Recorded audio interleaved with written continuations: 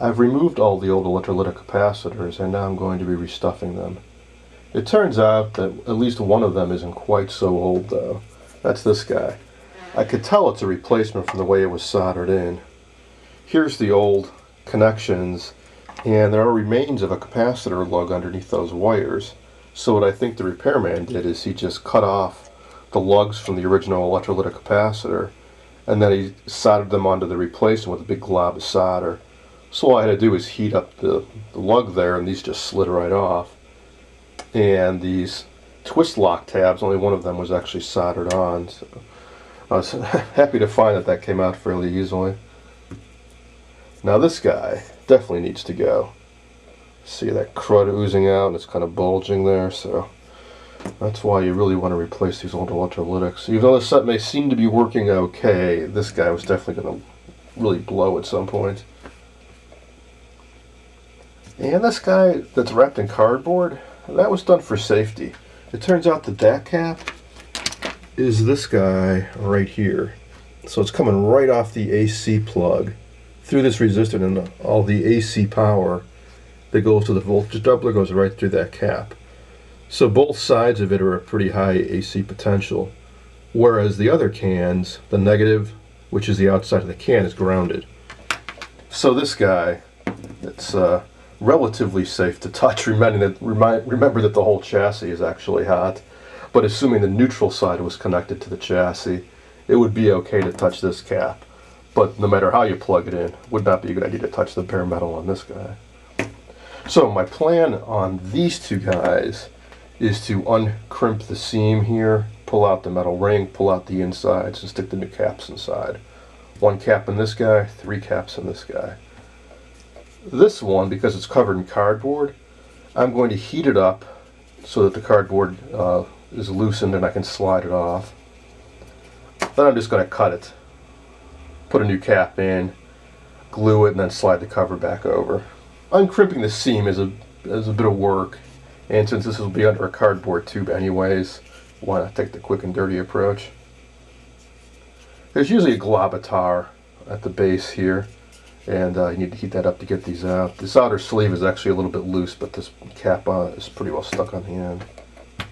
Now, as far as these two guys, I could just put the new cap in. For example, this guy is going to go here, but it's much bigger than that clamp, and it's just going to flop around. So I could wrap some layers of like uh, cardboard or something to just build up the diameter so it fits snugly in there.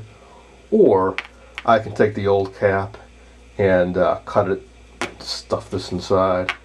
Really I just want to make sure that they're mounted securely in this clamp so the, the uh, connections don't come loose. Same on this guy. I haven't done too many of these. Uh, I've never been able to do it without mangling it because these are cardboard covers and if you try to kind of unroll the ends, the, the cardboard starts to fall apart. And in fact, on both of these it already is. So my thought was maybe to just cut it with a, a fine, thin, uh, like hacksaw blade. Just cut them right in half. Pull out the insides, put the new cap inside, and glue it back together.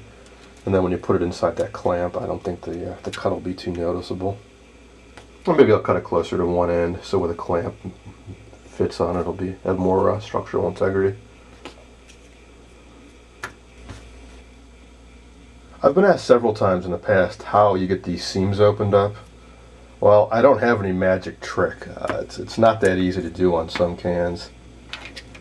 What I start out with is a pocket knife and just try to get a little bit going, just the tip of the blade slide it under there. And then I'll switch to a small flat bladed screwdriver once you can get these started, it's generally not so bad and you can kind of just walk the screwdriver around, twist it, move it over, twist, move it over, and so on. Sometimes neither one of these will really get it going, and then I, res um, I resort to these, which are small needle nose pliers with a serrated edge on them. And I kind of just put it on here and squeeze and pry it over. That will always work, but it'll damage the outer edge of it. After the fact, you can kind of file it down or fill it in and make it not look so bad, but this definitely will gouge up the side. So I will try these and see how it goes. Okay, I think this one won't be too bad. What I did was I took this pocket knife blade and just carefully went back and forth. This is aluminum, it's a lot softer than this hardened steel, so I was able to kind of carve and, and, and dig under that edge, that lip there.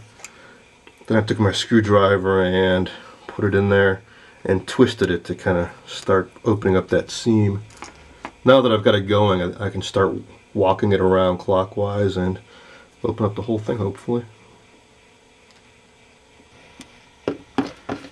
Let's see if I can get a little bit of this action on frame here. So, screwdriver in the seam and twist and, and move along.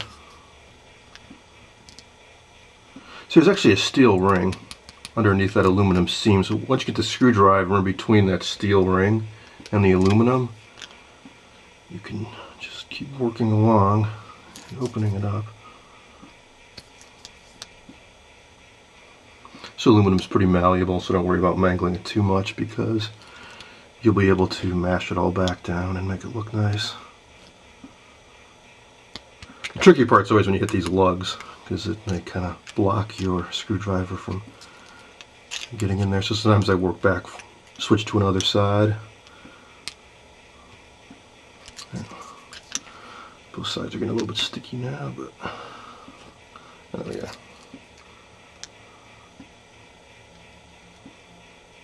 So it doesn't take that long. Usually about 10 minutes I can pop one of these open.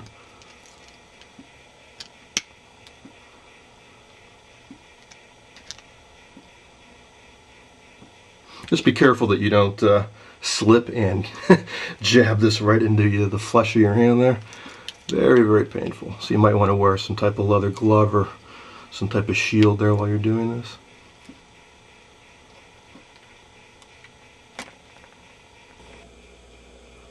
Okay, I finished uncrimping the can. Now it's a matter of lifting out this twist lock ring. On this can there's actually a foil tab that's welded on and that's the ground connection going to the inside of the capacitor so that needs to get broken off. Just, it's just aluminum foil so it snaps right off. Now to get the insides, that'd be nice if you could just shake and they'd slide out, but oh no, it's not that easy. This will have to be heated with a heat gun and uh, it'll slowly start to expand. The end will slowly lift up. I'll try to get that on frame, but I'm not going to promise anything. It's a little dangerous to be working with a heat gun and have a camera going and all that, but we'll see. I ended up heating it up off camera, sorry. But the uh, as you heat it, what will happen is this cap will start to slowly bulge out as the insides heat up. And then you pull out the inside. See all that nice hot tar that got all gooey when I heated it up? That's what holds the cap inside. There's a big glop of tar at the far end. Once that gets hot enough, the insides just pop right out. I just clip off these leads and dispose of all that goo.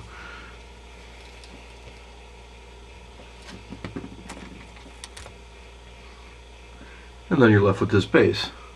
I'll clean that up a bit once it cools down.